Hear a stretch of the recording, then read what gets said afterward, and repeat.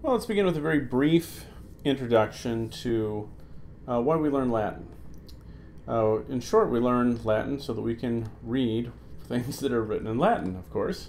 Um, and why are things that are written in Latin important? Well, they're important because Latin became the language that was the language of Western civilization, of Western Europe, for well over a thousand years. And it became that way, of course, because the Roman civilization uh, that arose in central Italy on the Po River eventually conquered all the lands from Great Britain to, uh, to uh, the borders of Iran. So all those countries, so let's just go around, around the horn. We should get a, a map of Europe here, a map of the Mediterranean world. Mediterranean world. Oh, let's see a good one. There's a fine one.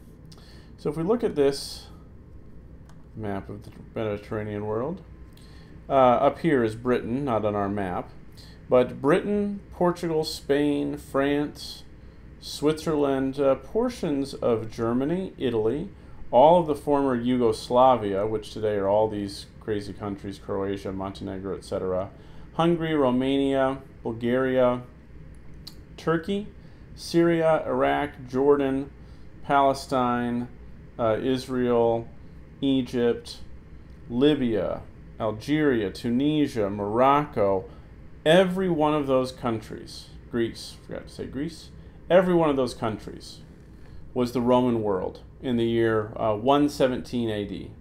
Uh, tr traditionally, that's uh, the, the high point of the Roman Empire.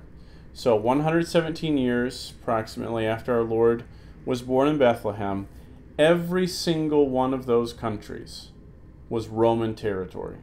Amazing. So Latin was spoken, uh, at least by the upper classes, at least by all the businessmen in every one of those countries. Um, so that's why Latin becomes so important. Uh, and not only the language, but the customs of Rome, uh, Roma in, in Latin, uh, the, the customs of Rome the culture of Rome spread to all these places. And so, after the apostles go out from Jerusalem and spread the message of our Lord Jesus Christ around the world, and eventually the Roman Empire, then in uh, uh, you know the, around uh, the year 312, 315, um, uh, the Edict of Milan finally in three uh, in 312, and then um, Constantine making Emperor Constantine making Christianity the preferred religion of the Roman Empire, and then finally his, uh, it's either his, I think it's his great grandson Theodosius I, uh, in 387, makes Christianity the religion of the Roman Empire. All of a sudden, this whole world is uh, the Western Christian world. Now, later, the Roman world, of course, breaks down, and these individual countries, as we think of them today, begin to break off. Um, but still, everybody in Spain, everybody in France, everybody in Germany, England, Italy, Hungary, they all spoke Latin. Latin was the international language. And to this day, there are you know tens of thousands, hundreds of thousands of, of uh, millions of pages uh, of important Latin works that have never been translated. Uh, so learning Latin gives you access to the history of the Western Christian world, gives you access especially, especially uh, to, uh, to Christian texts. To, in fact, I think I mentioned there in that first video that that's what I do on a daily basis. Here's a page of Gerhard that I, uh, that I translated today. Um, and so still today, Latin is, uh, you know, there are wonderful works in Latin that have yet to be translated. And of course, there's no substitute for reading uh, something in its original language. Something's always lost in translation. So it's very important to learn that. Um, and we should also say that Spanish, French, Italian, Romanian, um, the, the, the Portuguese, these are called the Romantic languages, not as in romance, but as in Rome. These languages are all, in fact, Latin. They're just local dialects of Latin that have grown into their own languages. So by learning Latin, you'll have a much easier time learning Portuguese, Spanish, French, Romanian, etc. And likewise, if you studied French or Spanish in high school, uh, you'll find many, many similarities with Latin, and your uh, your path will be much smoother than those perhaps who are starting uh, with Latin as their as their first foreign language. So that's a, a very brief introduction to uh, why learning Latin is important. Uh, we could we could take a look at a couple more things here. This is Emperor Augustus, by the way. We're just looking at him to begin our class. Um, the government of the United States is based on uh, how the Roman government was set up. We'll have time to talk about this as we go through the class, kind of piece by piece, but uh, are the division of our government into an executive branch, a legislative branch, and a, and a judicial branch. This is all based on how the Romans did it. And the Romans themselves did this very self consciously. They wanted the best of monarchy in the legislative branch. They wanted uh, the best of democracy in the legislative branch. They wanted the best of oligarchy in the judicial branch.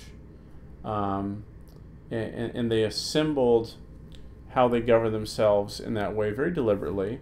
And the United States, and before them, the, the British Empire, the, the history of English law, and before that, the history of Christian monarchy and Christian law in the Middle Ages all this grows out of this Roman world that lasts from, uh, well, the city of Rome was founded in 753 BC. The city of Rome falls, uh, and, and Western Europe devolves into uh, all these kingdoms. So Rome falls in 476, AD 476.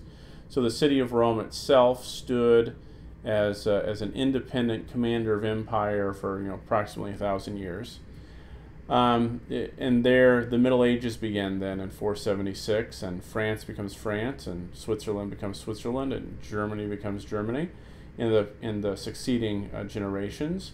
Meanwhile, remember, because all these all of these countries were Roman territory.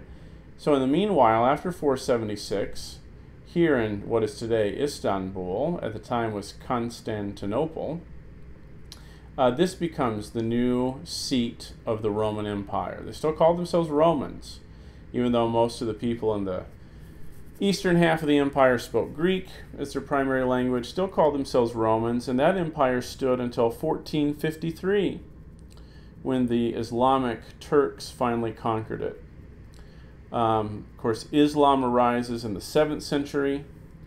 And uh, Islam, well, we can get pretty far afield today and talk about how Islam arises in the Arabian Peninsula uh, in the 7th century, conquers all these Christian lands all the way around into France, defeated uh, by Charles Martel at the Battle of Tours in 732 AD, drives the Muslims back to Spain the Spaniards finally kicked the Muslims out in 1492. That is why Columbus sailed the ocean blue that year, um, etc. So it, all this history is tied in. The history of our world, the world we live in, the governments we live under, the culture we have, the language we speak.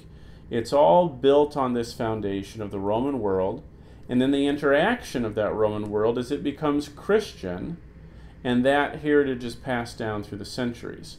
So again, this is the most the briefest of, of overviews of the importance of Latin and how it provides one of the foundations of the Western world.